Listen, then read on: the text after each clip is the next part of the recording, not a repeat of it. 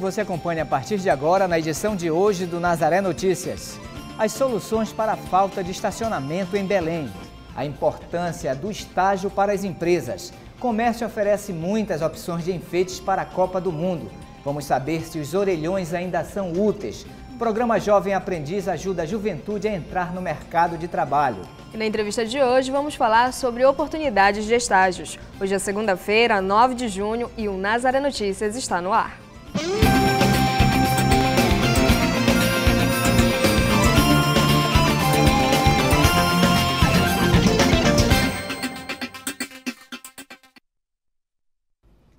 A edição de hoje começa falando de um problema sério do trânsito nos centros urbanos, que com certeza a maioria dos motoristas já passou aqui em Belém. É a dificuldade para estacionar no centro da cidade. A falta de vagas é frequente. Para os especialistas, isso se deve ao grande número de veículos e à falta de planejamento. Você vai ver nesta reportagem as possíveis soluções para esse problema. No centro da cidade, vagas ocupadas. A solução é dar voltas ou então contar com a sorte e esperar alguém sair. É difícil, eu acho que a, a, a, frota de Belém aumentou, né? E cada dia que passa fica mais difícil encontrar uma vaga no centro de Belém. Seu Antônio é motorista e todos os dias a principal dificuldade de seu trabalho é encontrar vaga para estacionar. O jeito é esperar no carro. É difícil. Por aqui é, não tem vaga para estacionar. A falta de locais para estacionar em Belém é um problema. Para quem precisa vir ao centro da capital paraense, encontrar uma vaga é quase um desafio. A solução é chegar cedo. Mais sete e meia. A 15 para as 8 não encontra mais vaga aqui nos pedaços, aqui no estacionamento, aqui na frente do tribunal. 15 para as 8 não, não encontra mais vaga. A falta de estacionamentos se deve ao aumento da frota de veículos em Belém, que supera o número de 356 mil. Mas também existem outros fatores. Nós já temos uma demanda de veículos dentro da cidade de Belém muito grande. E além disso, vem veículos de outros municípios da região metropolitana que encontram-se aqui em Belém e precisam de vagas para estacionar. E criou-se ali no espaço público quase que um monopólio, uma privatização desse espaço por parte de alguns proprietários de veículos. Um exemplo disso é aquele condutor que chega ao trabalho às 7 horas da manhã e estaciona seu veículo e só sai às 18 horas. Então ele privatizou aquele espaço durante o dia todo, que é público. Em alguns casos, vagas de estacionamento são ocupadas por cones. Esta ação é proibida.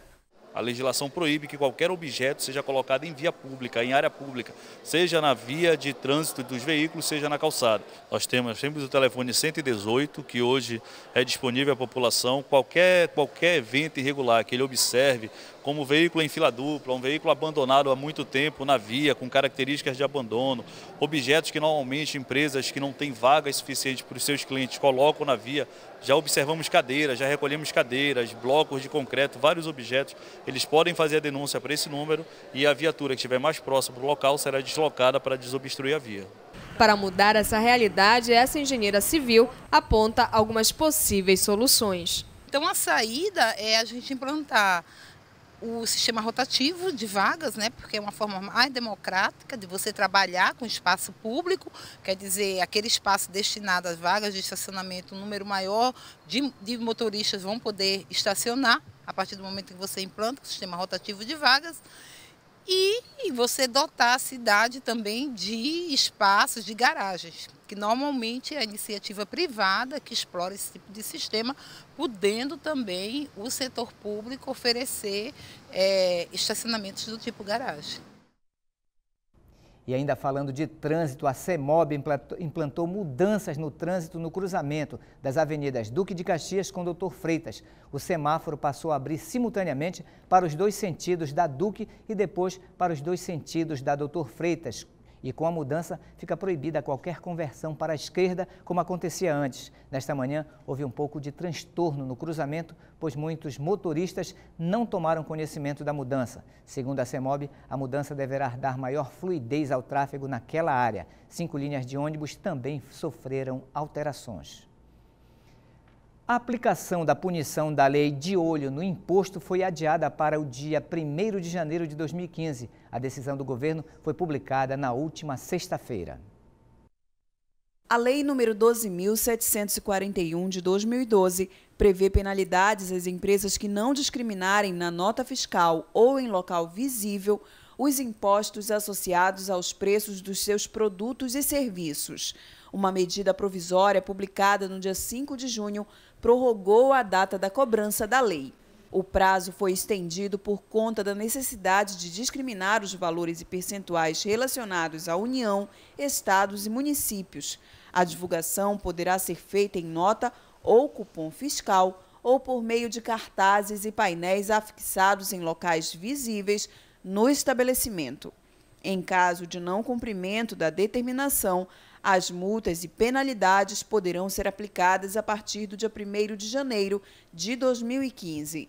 A regulamentação tem caráter facultativo para os microempreendedores individuais, que poderão informar apenas a alíquota em questão enquadrados no Simples Nacional. Já as empresas de porte médio e grande serão obrigadas a detalhar os impostos em valores absolutos ou percentuais. De acordo com os dados do IBGE, a conta de energia elétrica teve a sua maior alta desde o ano de 2013.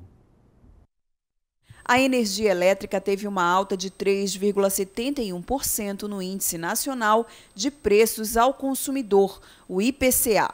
O valor para este item foi o maior desde o mês de maio de 2003, quando foi registrado um aumento de 6,45%.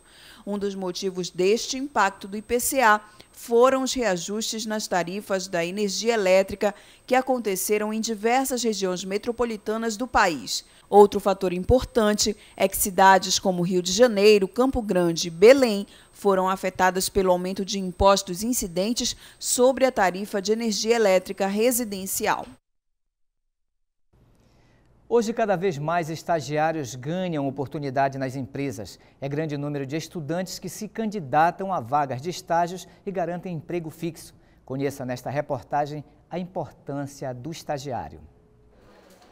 Aqui eles têm oportunidade de colocar em prática tudo aquilo que aprendem na universidade. Além disso, os estagiários assumem grande papel dentro da empresa ou da instituição em que atuam.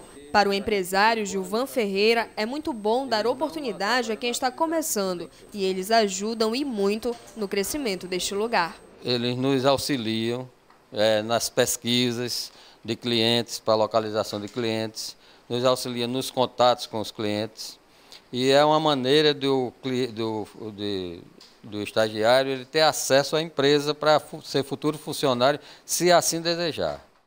Esta empresa conta hoje com cerca de 80 estagiários. A decisão de trabalhar com esses jovens começou há dois anos e já tem rendido bons frutos. Aqui, quem se destaca já tem emprego garantido.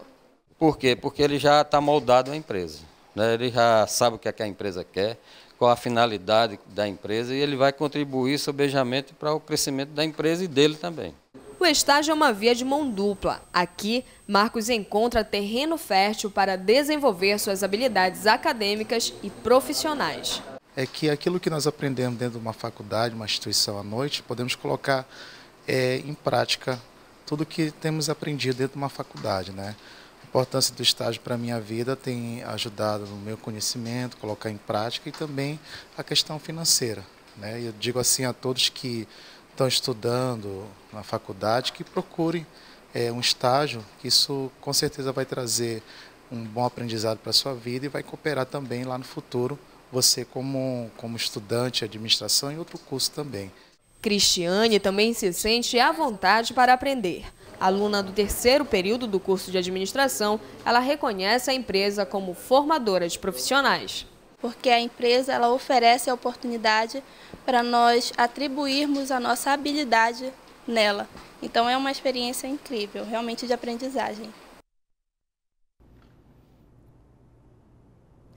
E na entrevista de hoje vamos falar justamente sobre estágios. Caroline Guimarães está com a psicóloga Aline Barros ela é responsável por recrutamento de estágios, que faz parte do sistema da Confederação Nacional da Indústria. E vamos saber como um estudante deve se comportar numa entrevista de estágio e sobre crescimento de oportunidades a partir dos estágios. Não é isso, Carolina? É isso mesmo, Marcos. Lembrando que quem quiser participar conosco pode ligar para o 4006-9211. O estágio que é aquela oportunidade, o primeiro contato, não é isso mesmo, Aline, do estudante com o profissional, com o lado profissional, né? Com aquilo que ele, ele escolheu para a vida dele. Exatamente. Como é que as pessoas podem conseguir o seu primeiro estágio? Como é que o estudante pode conseguir essa primeira okay. oportunidade? É, ele precisa fazer um currículo. O currículo é uma carta de apresentação, né? É, onde ele vai colocar o curso que ele está que ele está realizando, a disponibilidade de horário, o semestre. E aí ele vai no IEL, ele comparece ao IEL para fazer um cadastro. Aparecendo uma oportunidade dentro do perfil daquele aluno, a gente entra em contato para apresentar uma proposta e aí fazer as avaliações. Agora, um dos grandes medos do estagiário é justamente a entrevista, né? Isso. Como ele deve se portar nesse momento. Isso. A entrevista é, o, é a primeira etapa avaliativa do, daquele aluno. Ele vai fazer um currículo, vai levar esse currículo e a gente vai avaliar. É, estando dele no currículo dentro do perfil da vaga, a gente vai entrar em contato com ele para fazer essa entrevista. Na entrevista, é o momento que aquele aluno tem para poder demonstrar tudo aquilo que ele tem de bom, né? Tudo aquilo que ele tem de legal para aquele entrevistador. Ele vai fazer primeiro uma entrevista com a gente, comigo e com a minha equipe, que é a primeira avaliação. Como ele precisa é, é, se portar? É, a vestimenta é uma característica importante, ele vai ser avaliado, ele não pode esquecer disso. Então, nada que chame muita atenção, né? nada da, da roupa muito exuberante, a gente não vai avaliar isso. É, responder as perguntas de forma clara, objetiva. O nervosismo é inevitável e a gente leva em consideração isso. Não tem como, é, em processo de avaliação, todo mundo fica nervoso e a gente vai estar tá, é, é, tendo cuidado com isso. Mas responder as perguntas, mostrar que ele realmente está interessado é, no estágio, mostrar comprometimento, responsabilidade, é o que vai ser avaliado nele naquele momento. Agora, antes da entrevista, ele precisa organizar o currículo e muitos, muitos alunos ainda ficam com dúvida de como preparar esse currículo. O que é que ele pode colocar? Porque não tem experiência. Isso, é, é, é a dúvida, é a maior dúvida deles. No currículo, para estagiário, ele vai precisar colocar os dados pessoais. Eu preciso saber quantos anos ele tem, aonde ele mora, é, contatos. É, ainda hoje existem currículos sem telefone, por exemplo, como é que a gente vai entrar em contato? A gente já usa o recurso do e-mail, aí já facilita, mas precisa colocar o um número. Dados acadêmicos, curso de administração, qual é a faculdade, qual é o semestre, qual é o horário que ele tem, que ele está estudando, para a gente saber qual é o horário disponível. E cursos profissionalizantes ou cursos de qualificação informática, inglês, alguma coisa dentro da área, se for engenharia, um curso de AutoCAD é importante, um curso de, de, de, de Revit, que é um curso mais específico dentro da engenharia, é importante ele colocar dados pessoais, acadêmicos e os cursos. Se ele tiver alguma experiência, coloca, se não, tudo bem. Ok, é, também existe, existe um, um, uma preocupação muito grande com relação àquilo que você falou, a questão da vestimenta, é, existe um, um, padrão, quer dizer, muitos estagiários acham que tem que ir é, de, de blazer, de terno, formal, ou então não, é uma coisa é, mais... É, existe alguns perfis, né? Alunos de direito, ele precisa estar mais formal, né? Ele não pode ir com uma camiseta, com uma blusa é, mais simples, que realmente é exigido, é exigido dele esse, esse perfil. É, mas, assim, é, a vestimenta é algo que a gente não vai levar em tanta consideração. Mas um aluno que se apresenta de boné, de boné, ou então mascando chiclete, uma aluna que vai com uma rasteirinha, isso já não é tão interessante, né? Um, evitar o decote, uma roupa que chame muita atenção, isso sempre é, é, é, é tem que ter um cuidado com relação a isso, sim. Agora, é, nós estávamos conversando né, antes da entrevista com essa questão da diferença do estagiário para o jovem aprendiz. Nós temos um, eu estou puxando esse assunto porque nós temos uma dúvida do Marcelo. Ele disse que ele foi tentar uma vaga de estágio em uma empresa, mas a empresa não deixou ele estagiar porque ele não tem justamente o nível super, o curso superior, né? Existe essa diferença? Sim, é, cada um existe uma legislação própria. Né? Eu vou falar do estagiário, que é o que a gente trabalha. O estagiário ele precisa estar estudando ensino médio, técnico regular ou ensino superior, a partir de 16 anos. diferente do jovem aprendiz que, se eu não me engano, é até 24 anos e ensino médio.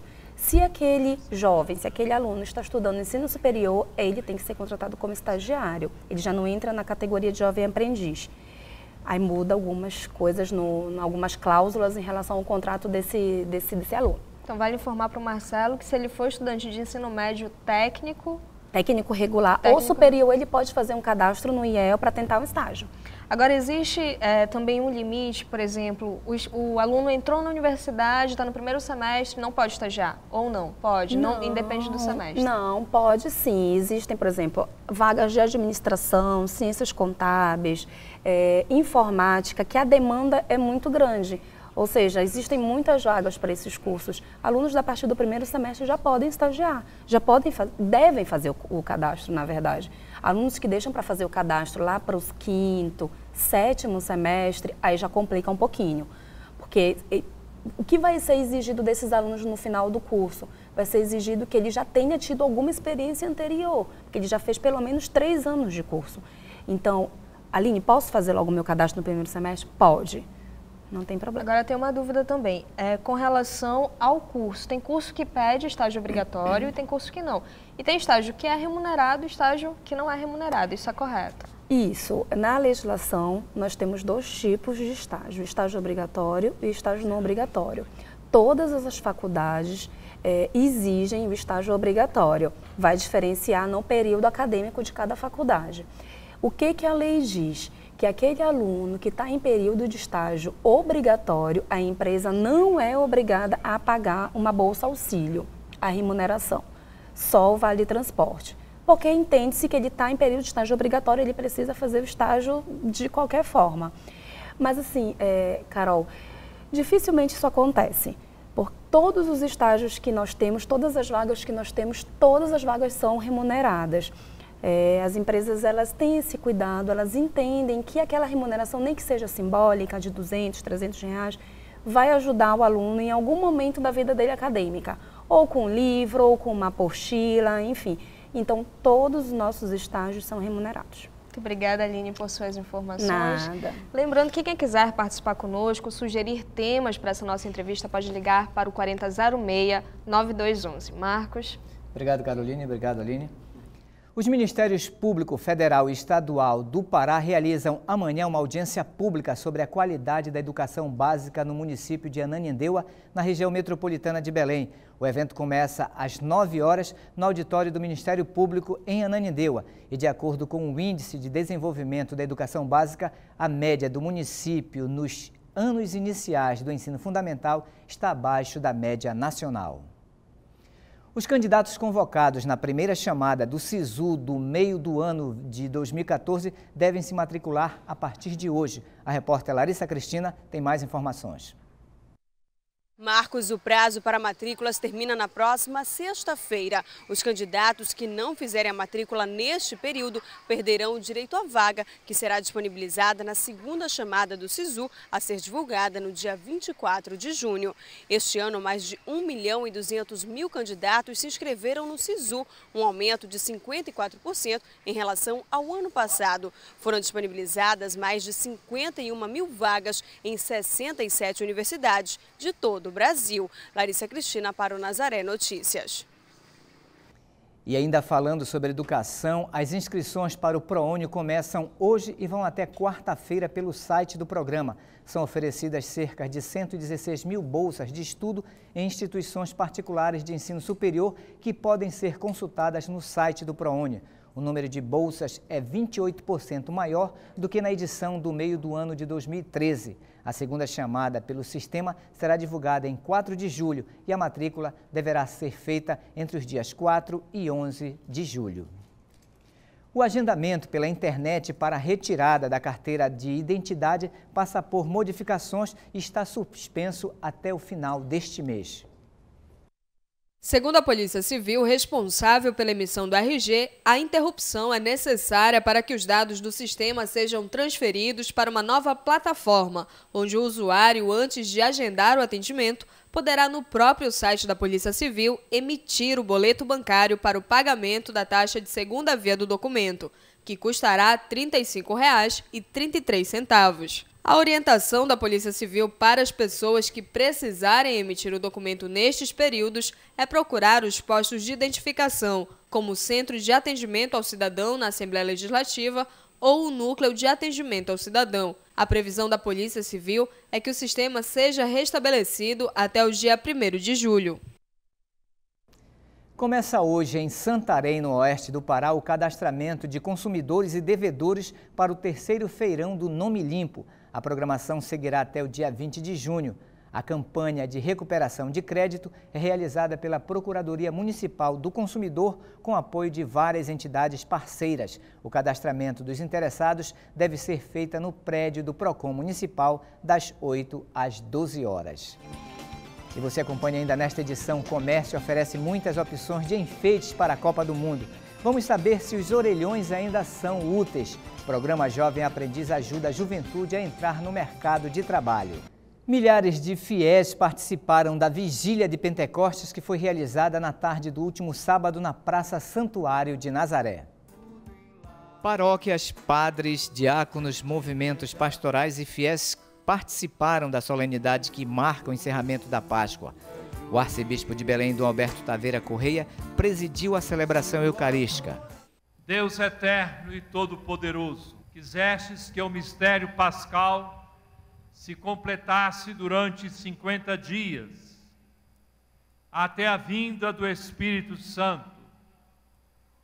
Fazei que todas as nações dispersas pela terra, na diversidade de suas línguas, se unam no louvor do vosso nome, por nosso Senhor Jesus Cristo, vosso Filho, na unidade do Espírito Santo. A missa foi concelebrada pelos dois bispos auxiliares, Dom Teodoro Mendes e Dom Irineu Romã, pelo arcebispo emérito de Belém, Dom Vicente Zico, e por todos os vigários episcopais da arquidiocese. Velas acesas e a consagração a Nossa Senhora de Nazaré marcaram o final da celebração.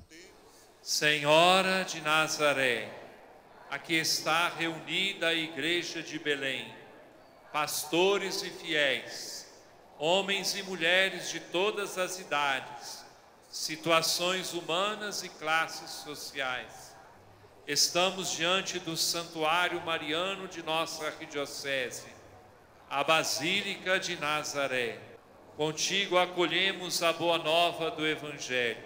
Olhamos para ti e te entregamos confiante todas as pessoas que aguardam o anúncio do nome de Jesus Cristo. A vigília de Pentecostes é um dos eventos mais importantes do calendário litúrgico cristão e este ano teve como tema Recebam o Espírito Santo. Bendito seja o nome do Senhor. A nossa proteção está no nome do Senhor.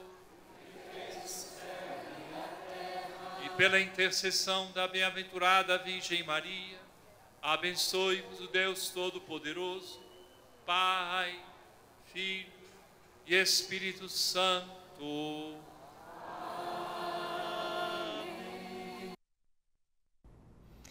A Copa do Mundo começa nesta quinta-feira, dia 12 de junho, e o Pará já entrou no clima de campeonato mundial de futebol.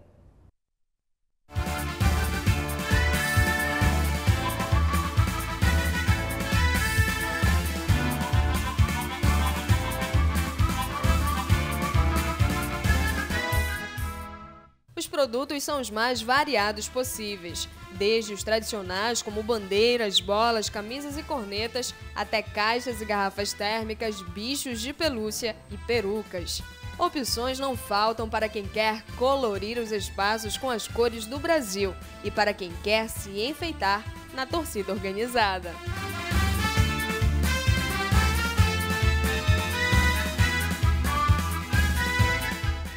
São muitas as invenções com as cores verde, amarela, azul e branca. Copos, bandeiras, chapéus, uma coisa mais criativa que a outra. As crianças se encantam. Santiago trouxe o filho Pedro para fazer compras e já entrar no clima da Copa. A gente está enfeitando inclusive a, rua lá, né? Tivemos que comprar mais plástico para enfeitar. Ele já gosta do produto, ele grita gol quando tem algum, algum jogo da seleção, já está no clima da Copa.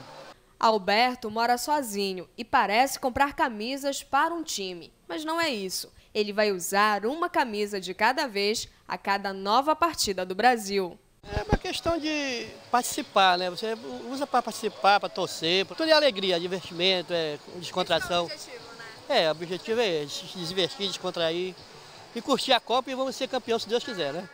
Há também quem aproveite a variedade para ganhar um dinheirinho a mais. Luiz é vendedor. Para ele, as pessoas já entraram no clima da Copa, porque as vendas estão indo muito bem. O pessoal é direto procurando da Copa do Mundo. Eu, ó, o mês passado eu vim, eu comprei 200 reais. Hoje eu já comprei 3 mil e não vai dar. Além de torcer, ainda compro para fazer os outros felizes também, né? Olavo, com ar de técnico avaliando a seleção brasileira, ele até arrisca um placar para o primeiro jogo. Do jeito que a seleção tá, né, dá para arriscar um placar de 4 a 0, tranquilo. Demorou um pouco, mas as pessoas enfim entraram no clima da Copa naquele jeitinho brasileiro. A correria agora é para comprar os produtos para enfeitar as ruas, as casas e também as empresas. Tudo para torcer para a seleção brasileira. Mas torcer para o Brasil é apenas um motivo. O que vale mesmo é a alegria do momento.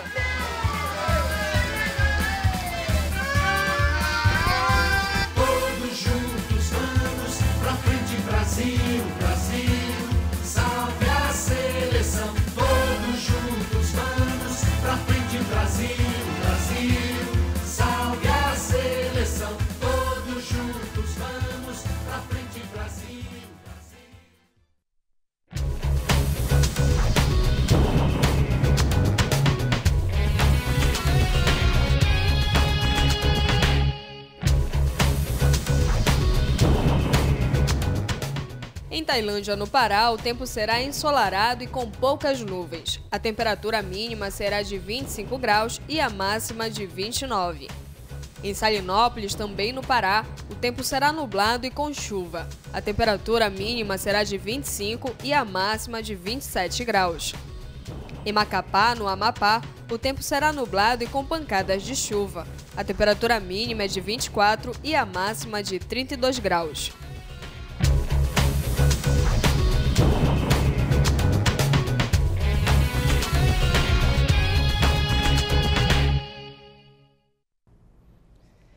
As comidas típicas do período junino estão mais caras este ano. São informações do Diese Pará. Os preços das tradicionais comidas típicas do mês de junho sofreram alterações acima da inflação, estimada em 6% no último ano.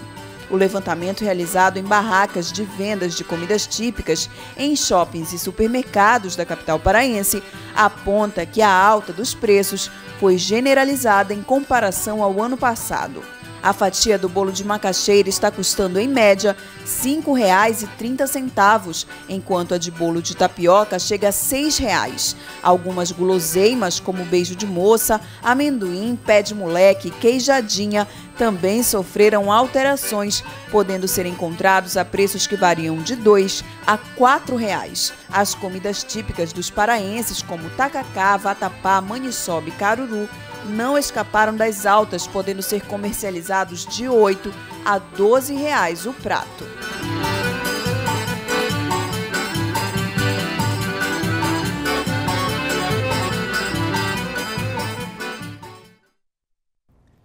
A emissão do alvará de licença para localização pode ser retirado gratuitamente por meio da internet no site da Secretaria de Finanças de Belém.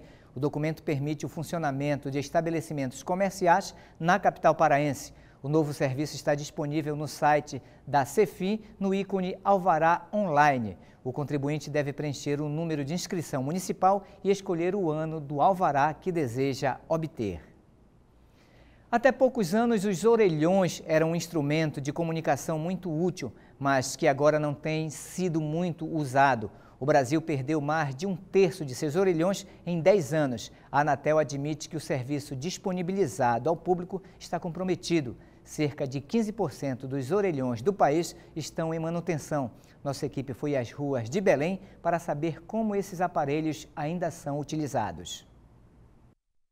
É difícil encontrá-los, mas os orelhões ainda estão por aí. Verdade que poucos funcionam. A depredação é uma triste realidade.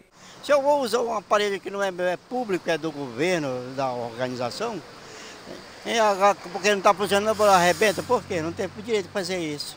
A gente tem que zelar pelo aquilo que nós possuímos, tanto na casa da gente como público, porque é do público, é de todos nós. Com o mau uso e o avanço da telefonia móvel, os aparelhos foram perdendo a utilidade e logo retirados das ruas. Em 10 anos, o Brasil perdeu um terço de seus orelhões. Eram 1 milhão e 300 mil no Brasil em 2004. Hoje existem apenas 875 mil, segundo a Agência Nacional de Telecomunicações, o que nos leva a quatro aparelhos para cada mil pessoas. Todos os dias, em média, 120 orelhões desaparecem das ruas do Brasil. Aqui na capital paraense, especificamente na Praça da República, onde eu estou, a realidade é um pouco diferente. No perímetro de menos de 30 metros, eu encontrei cinco orelhões. Dois estão logo aqui próximos a mim e três bem mais à frente. Mas a quantidade não é qualidade. Apenas um dos aparelhos funciona. Realidade diferente do passado. Quando todo mundo usava o orelhão, quando eu usava também, era bonitinho, era bem cuidado, a gente chegava, podia usar porque prestava e hoje em dia está uma calamidade. A dificuldade também é encontrar cartões para as ligações. Seu Raimundo lembra quando vendia os créditos. O preço variava entre R$ 2 e 4 reais, de acordo com a quantidade de unidades. Vendia em torno de, de 300, de 20 e de 40, entre 150 e 200. De 60 era pouco, né? Eu vendia, mas em, em, de 20 e de 40 eu vendia bastante. Hoje, o cartão de 20 unidades é vendido a R$ 5,00, de R$ 40 a R$ 8,60 por R$ 10,00. Com os valores elevados, o número de orelhões deve cair ainda mais até o ano que vem. As inscrições para as eleições setoriais e distritais do Conselho Municipal de Política Cultural de Belém estão abertas até o dia 19 de junho. Elas podem ser feitas na sede da Fundação Cultural do município de Belém. O objetivo do Conselho é formatar a política cultural da capital paraense. Qualquer pessoa ligada à cultura pode se inscrever, desde que apresente documentos comprovando seu envolvimento com a área. As eleições setoriais serão realizadas nos dias 22 e 23 de julho e as distritais nos dias 24 e 25. Cada vez mais cedo, os jovens estão entrando no mercado de trabalho. Eles buscam independência financeira e acabam adquirindo responsabilidade de um adulto. Trabalhar dentro da lei é possível para os jovens a partir dos 14 anos, dentro do programa Jovem Aprendiz. No ambiente de trabalho, eles se comportam como profissionais. Os jovens aprendizes são treinados para isso, entrar no mercado com conhecimento e capacitação. Carla está há apenas quatro meses no supermercado, mas já mostra eficiência no serviço. Eu aprendi a fazer doces, aprendi a atender que eu não sabia, aprendi a fazer salgados, é, brigadeiro, várias coisas. O trabalho da atendente é supervisionado, bem como dos 43 aprendizes lotados neste supermercado. O trabalho deles é muito importante, eles prestam ajuda no atendimento com clientes e é muito gratificante para a empresa ter eles como eh, colaboradores também. Para entrar no mercado, o jovem aprendiz deve ter entre 14 e 24 anos e a prioridade é para os mais novos, entre 14 e 18. Os supermercados são os que mais absorvem a mão de obra dos aprendizes. Neste aqui de Belém, são cerca de 43 jovens que se revezam em mais de 20 setores da loja. E para capacitá-los para terem experiências em todos os setores, eles passam de 3 a 4 meses em cada local. No setor de avaria encontramos Alejandro. Aos 17 anos, ele optou por ganhar seu próprio dinheiro. Para ajudar minha mãe, é, colocar as coisas em casa, ajudar um pouquinho né, lá, é, ter, é, ser dependente mesmo, entende? É, de mim mesmo, não ter que estar tá pedindo para o meu pai, às vezes ele não tem, né? Então é isso. Paralelo ao trabalho de campo, os jovens recebem formação no SENAC. Em Belém, são mais de 1.020 estudantes no programa. É muito importante para eles, porque eles têm essa oportunidade né, de ingressar no mercado de trabalho, para as empresas também, de formar mão de obra, né?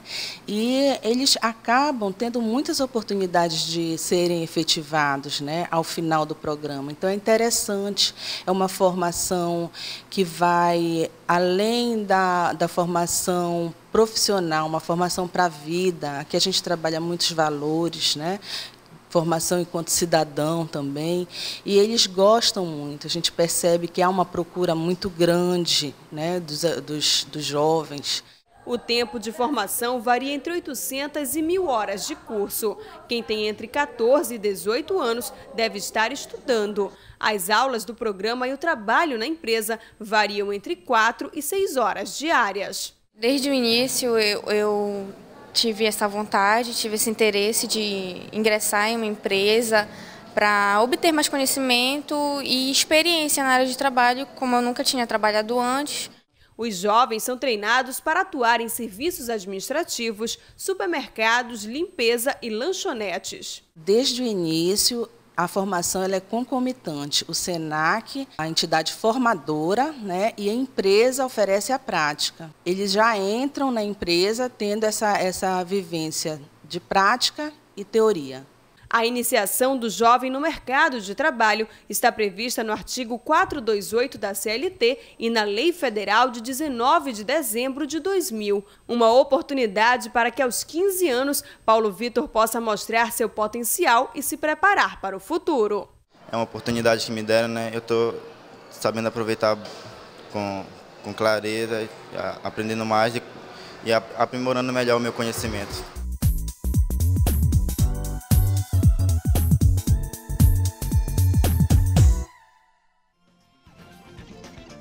E essas foram as notícias de hoje. Para dar sugestões de reportagens, ligue para a nossa central de atendimento no número 4006-9211. E se você quiser rever nossos vídeos, acesse o portal Nazaré, www.fundacionazaré.com.br ou acesse a nossa página no Facebook. O Nazaré Notícias fica por aqui, nos encontraremos amanhã na próxima edição. Até lá!